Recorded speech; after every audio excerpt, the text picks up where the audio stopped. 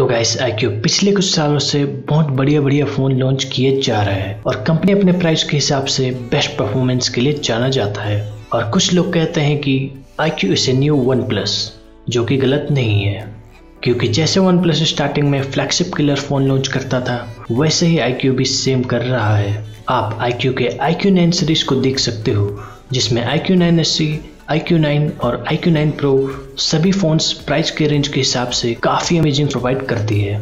अगर आपको नहीं पता iQ अपने फ़ोन्स को पाँच से छः महीने के बीच में अपग्रेड करता है और जैसे कि iQ9 सीरीज़ जनवरी में लॉन्च किया गया था, इसका मतलब अब टाइम हो चुका है अपग्रेड लाने की, जो कि है iQ10 सीरीज़ तो iQ10 सीरीज़ पहले चाइना में लॉन्च किया जाएगा और लॉन्च इवेंट 19 जुलाई को रखा गया है। और लॉन्च के कुछ वीक पहले ही iQ ने iQ10 Pro, जो कि iQ की प्रीमियम फ्लैगशिप फ़ोन होगी, उसकी ऑफिशियल लुक डिज़ाइन रिवील कर दिया है।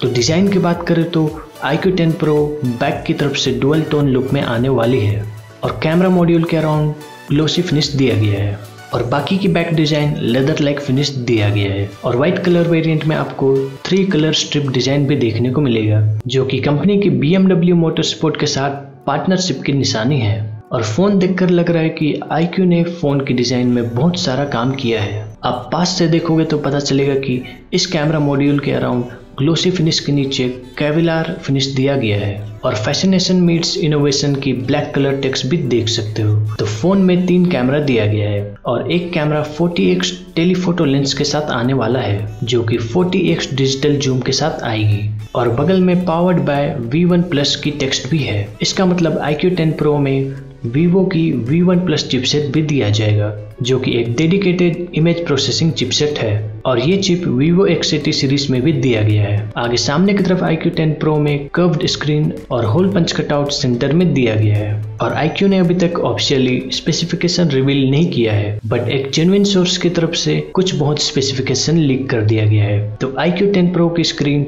6.78 इंच की 120 twenty hertz AMOLED display panel के साथ आने वाली है, जो कि लग रहा है iQ9 Pro की तरह ही सेम डिस्प्ले होने वाली है। और फ़ोन के अंदर स्नैपड्रैगन 8 प्लस जेन वन के प्रोसेसर दिया जाएगा प्लस फ़ोन की रेयर साइड में 50 मेगापिक्सल के सेंसर भी दिया जाएगा। और मेन हाईलाइट इस फ़ोन की, इसकी चार्जिंग स्पीड है। तो iQ9 Pro में 120 वाट फास्ट चार्जिंग का सपोर्ट दिया गया था। और अब iQ10 Pro में 200 वाट तक की फास्ट चार्जिंग का सपोर्ट दिया गया है, जो कि सच में बहुत फास्ट चार्जिंग स्पीड का सपोर्ट दिया गया है। तो बस अभी के लिए फ़ोन के बारे में बस इतना ही पता लग पाया है। पर iQ10 सीरीज़ में वैनिला मॉडल भी लॉन्च किया जाएगा, जो कि एक्सपेक्ट किया जा रहा है डायमेंसिटी 9000 प्लस के प्रोसेसर के साथ आने वाली है, और इसमें 120 वाट तक की फास्ट चार्जिंग का सपोर्ट भी दिया जाएगा।